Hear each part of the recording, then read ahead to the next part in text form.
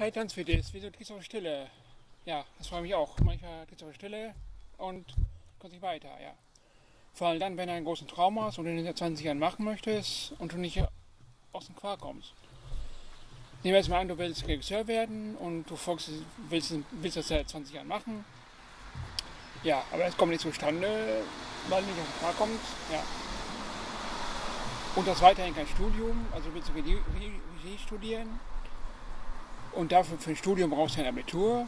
Und das heißt, jetzt hast du drei Möglichkeiten, halt deinen Traum zu erfüllen, Regisseur zu werden. Erstens, du machst Abitur nach, danach Studium, da vergehen ungefähr zehn Jahre, ungefähr denke ich mal, oder sechs bis zehn Jahre. Ich kenne, ich jetzt die, wie lange jetzt ein Regiestudium dauert, dauert, weiß ich jetzt nicht.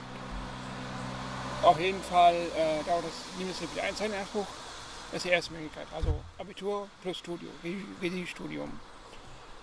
In der Straße hier, wie ihr seht, ähm, ja.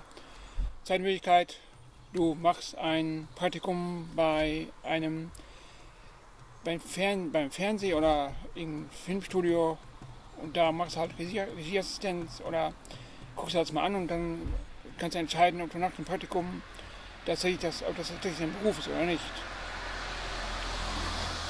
Bei Praktikum bietet, bietet die beste Möglichkeit, in den Beruf reinzuschnuppern und dann zu merken, ob dir das liegt oder nicht. Und die Möglichkeit ist, einfach loszulegen, zum Beispiel eine Kamera zu schnappen und halt ja, mit ein paar Freunden zum Beispiel Film zu drehen.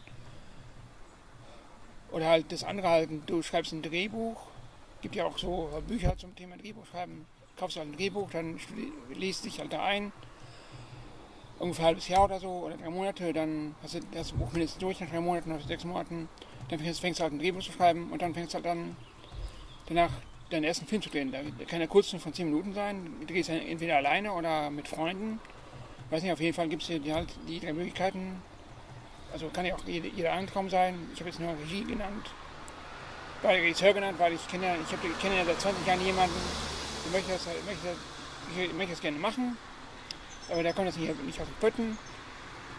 Ja, und ich würde mir wünschen, dass, dass, dass du und auch andere, wenn du einen Traum hast, halt einfach machst und nicht einfach nur redest, sondern einfach halt erst Schritt machst und loslegst und dann nicht immer halt ständig verschiebst.